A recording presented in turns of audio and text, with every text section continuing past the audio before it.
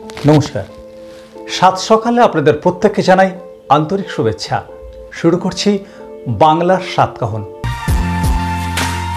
আজকের বিশেষ বিশেষ খবর হলো একশো দিনের কাজের প্রকল্পে পশ্চিমবাংলা ভারত শ্রেষ্ঠ। বিজেপির বড় একটা পদ পেলেন মুকুল রায় আর পদ খোয়ালেন রাহুল সেনা।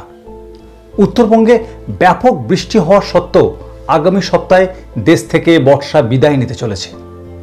সম্পত্তি করে জরিমানা এবং সুদে একশো পার্সেন্ট ছাড় দিচ্ছে কলকাতা পুরসভা। পুজোর পাঁচ দিন, ব্যারাকপুরে পুরো পেট ভরে খাবার মাত্র পাঁচ টাকায় থাকছে দিদির রান্নাঘর।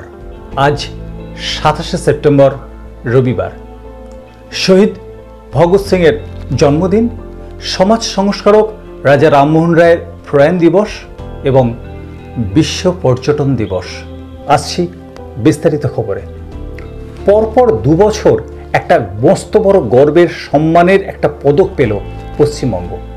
গোটা ভারতবর্ষে একশো দিনের কাজের পরীক্ষায় আবার প্রথম স্থান অধিকার করল।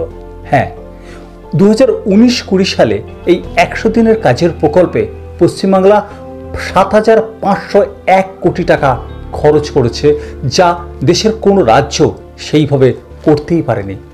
এই রাজ্যের অনেকগুলো জায়গায় সুস্থভাবে এই প্রকল্পের কাজ সম্পন্ন হচ্ছে। আগামীতে নিশ্চয়ই এই প্রকল্পের হাত ধরে অনেক মানুষের মুখে একটু স্বস্তির হাসি ফুটবে। টানা তিন বছর বাদে একটা মস্ত বড় সাফল্য পেলেন মাননীয় মুকুল রায়। তিনি তো তৃণমূল কংগ্রেস থেকে বিজেপিতে পা দিয়েছিলেন আর এইবার কেন্দ্রীয় বিজেপির সহ সভাপতি পদে পেলেন এই মুকুল রায়।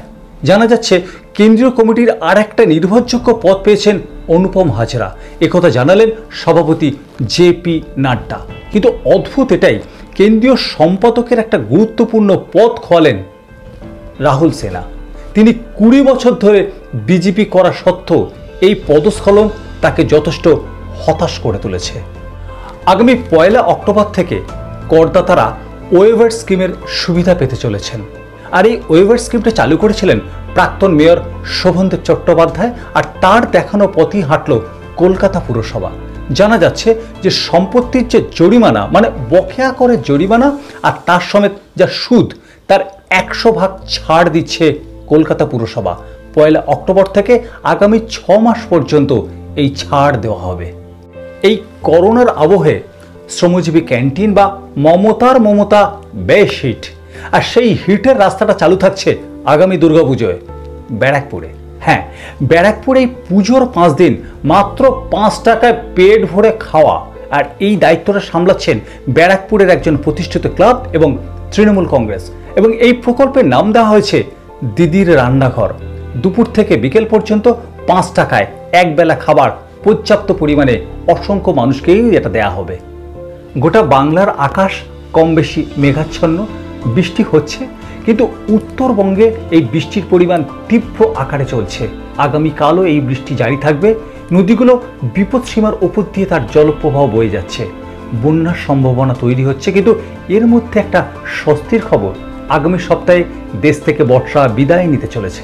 হ্যাঁ নিয়ম অনুযায়ী সতেরোই সেপ্টেম্বর বর্ষা বিদায় নেয়। এবার একটু দেরি হলো আঠাশে সেপ্টেম্বর ভারতবর্ষ থেকে বর্ষা বিদায় নিতে চলেছে। একই সঙ্গে স্বস্তির আবহাওয়া মিলবে গোটা বাংলা জুড়ে। এই হলো আজকের বিস্তারিত খবর।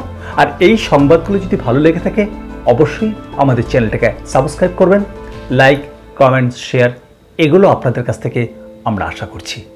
ভালো থাকবেন, সুস্থ থাকবেন।